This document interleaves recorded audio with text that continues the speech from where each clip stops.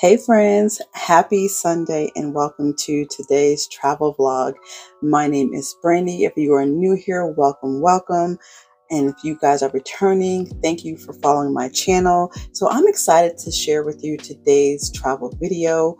I went to the Museum of Life and Science in Durham, North Carolina.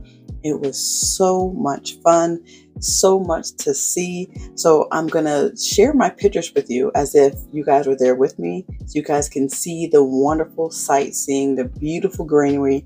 The outside of the museum is 84 acres. Okay. So make sure if you're in this area and you're going to check it out, make sure you have on your walking shoes.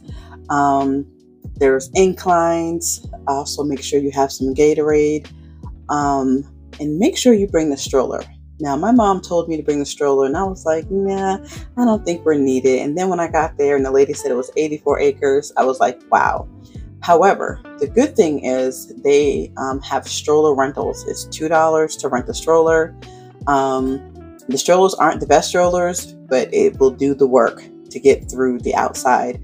We spent majority of the time outside because there's so much more outside than we did inside. I think inside we spent probably like about a good 45 minutes. We were there for about five and a half hours.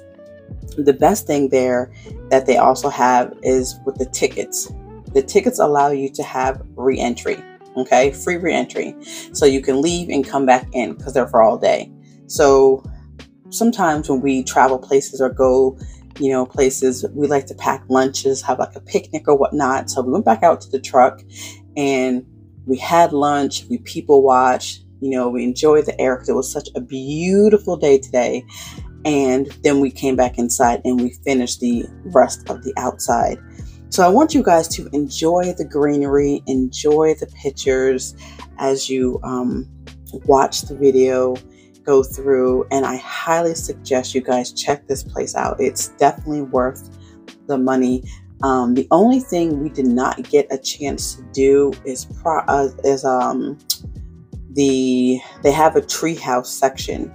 We did not get a chance to do the treehouse section because I was hot, my daughter was hot. We were just all tired, and by the end of the day, and we still needed to do the inside, and we only had an hour left. So I definitely um, I'm going to go back again and make sure I bring my stroller.